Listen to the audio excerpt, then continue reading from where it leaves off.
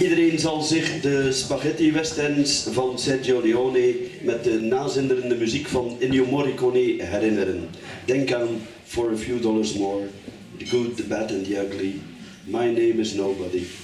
Graag uw aandacht voor een stukje filmmuziek uit een gekend Wild West verhaal.